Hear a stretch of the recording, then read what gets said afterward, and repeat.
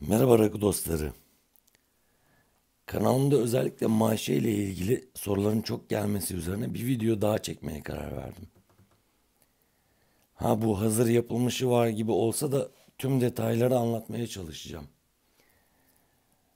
Ee, tabii ki amatör olarak yine cep telefonu ile.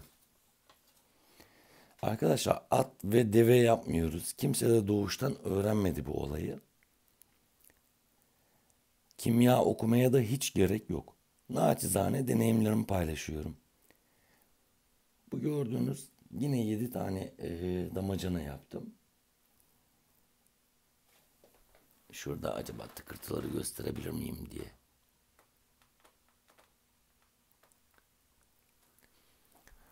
Şey yapayım. Naçizane deneyimlerimi paylaşacağım. Bu gece dostlarıma çiğ köfte yaptım. Ve kendi yaptığım kuru üzüm rakısını içirdim. Sonuç mu? Abi ne diyeyim? Bugüne kadar ne böyle çiğ köfte yedik ne böyle rakı içtik. Dedi herkes.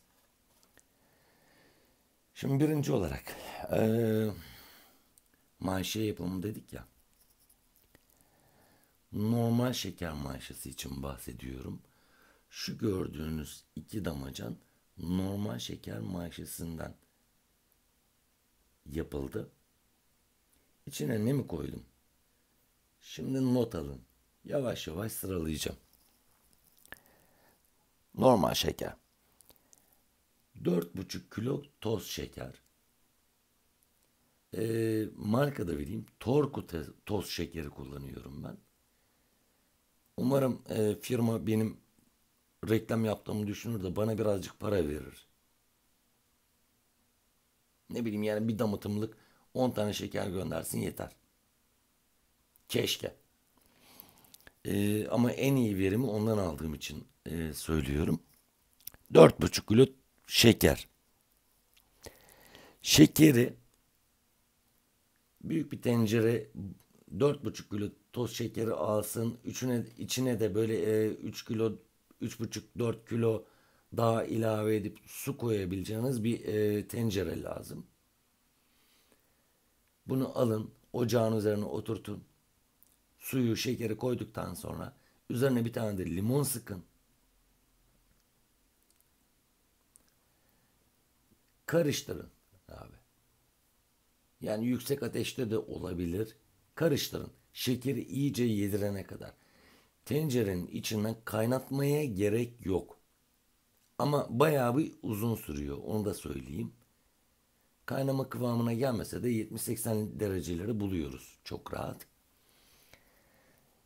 Hiç tıkırtı gelmeyene kadar özellikle söylüyorum. Yani şekerin eridiğinden emin olun. Çayınızın içinde e, tortu birikir ya. Şeker taneciği görmezsiniz ya. O derece e, kıvama gelsin. Sonra bunu 19 litre damacanın içine boşaltın. Ee, aparatlar yardımıyla tabii ki işte sürahiydi, e, huniydi. İçine koyun ve onu mümkünse hızlı bir şekilde soğutmaya çalışın. Yani hızlı ya da yavaş olmasının bir önemi yok ama e, damıtımda geçen her gün sizin açınızdan önemli olması anlamında söylüyorum. Onu e, soğutmaya çalışın. Bunun içine bir tane de limon suyu sıkın. Arkadaşlar. Limon suyu. Limon suyu pH'ını yükseltecek. Ha, pH yükseltmesi için başka bir şey daha söyleyeceğim. O da ayrı. Ve bekletin. Ee, ben bir gün bekletip öyle yapıyorum. Ve içine Migros'larda satılan Bonat marka e, suyu alkali eden yani kireçli su kullanan bölgeler varsa ki hepimiz şehirde yaşıyoruz. Herkesin kullandığı e, su artık e, kireçli su. Maalesef öyle. Bu bahsettiğim Bonat markayı ben yeni keşfettim. İnanılmaz verim sağladı bende.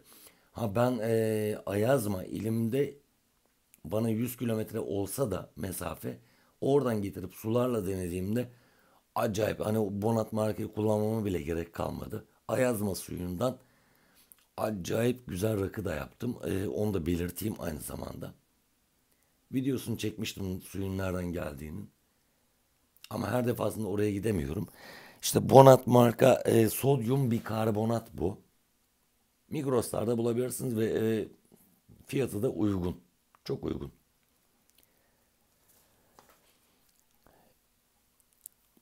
İlaveli e, bu, Bonat markayı ilaveli su karıştırıyorum içine.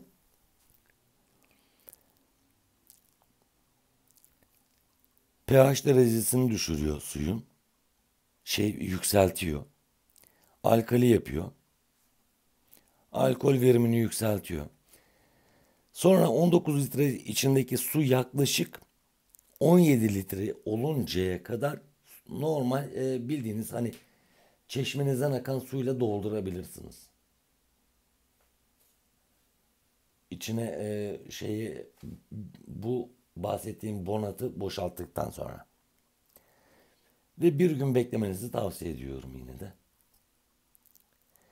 Sonra e, bazı arkadaşlar sormuşlar e, şey yapıyor musun işte maya kullanmıyor musun? Maya kullanıyorum arkadaşlar. E, üzümden de yapsam e, şekerden de yapsam her şekilde maya kullanıyorum. Bunu söyleyeyim. Ben e, pak maya kullanıyordum.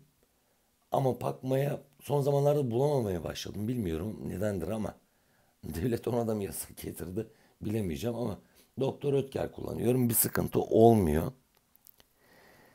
Onar gramlık paketlerde alıyorum onu. 4 tane yani 40 gram her birini bir kabın içine boşaltarak suyu da boşaltarak rondo ile çeviriyorum. Kaşıkla bunu ezmeniz çok zor açık bir detay vereyim. Yani böyle kaşıkla ezmeye çalışırsanız o bir tane 40 gramı ezmek için bayağı bir çaba sarf edersiniz. Ben rondoyla şak bitti. Yani 20 saniyelik 30 saniyelik bir işlem. Suyla karıştırana kadar. Sonra getirip üzerine döküyorum mayayı. Yani elle çok zor yaparsınız bu işi. Bir dakikada işlem tamam. Sonra da bir avuç kuru e, nohut arkadaşım. Kuru nohut. Böyle bazı arkadaşlar demişler hani nohutu haşlıyor musun bilmem. Nohut öyle bir şey de kullanmıyoruz. Kuru bir nohut. Bir avuç kadar. E, nohut maya besinidir. Mayalar içine koyduğumuz maya nohutla daha çabuk beslenir ve daha çabuk fermentasyon sağlar. Daha hızlı fermentasyon sağlar. Bu sebeple nohut koyuyorum. Yoksa e, nohut pilav yapmayacağız tabi. Sonra bir onu biraz salla. Şekerle e, mayayı ya da işte alt tabakadaki komple şeker kalıyor. Maya üstte birikiyor. Bunu salla ve iyice karışmasını sağla. Ve şekil A'da gördüğünüz gibi damacananın e, birazcık karanlık çıkıyor ama şuradan şey yapabilirim. Tam ağzına varmayacak gibi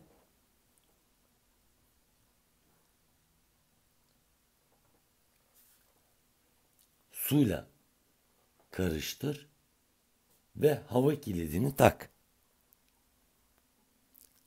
Hava kilidini taktıktan sonra 1-2 saat bekle ve sonra cığırtı koptuğunu ya zaten göreceksin.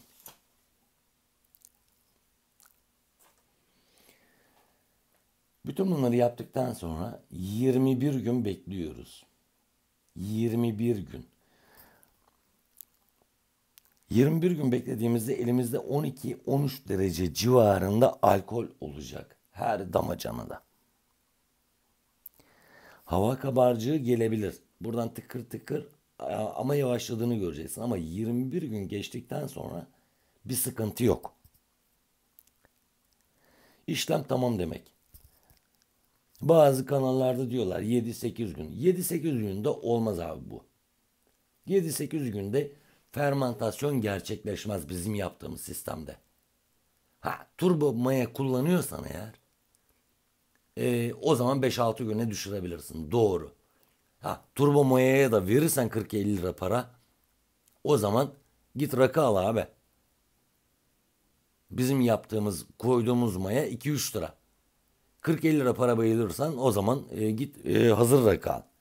Biz zaten işi ucuza getirmek istediğimiz için varız. Acele yok yani. Hiç acele yok. Şimdi bir de kuru üzüm. Ya şuradan tam net alamasam da şu iki damacan yine kuru üzüm. Kuru üzüm nasıl mı yapıyor, yapılıyor? Arkadaşlar ben BİM'den yani e, normal şartlarda kuru üzümün şekerli olması lazım ama o üzümün tadına da baktım ben.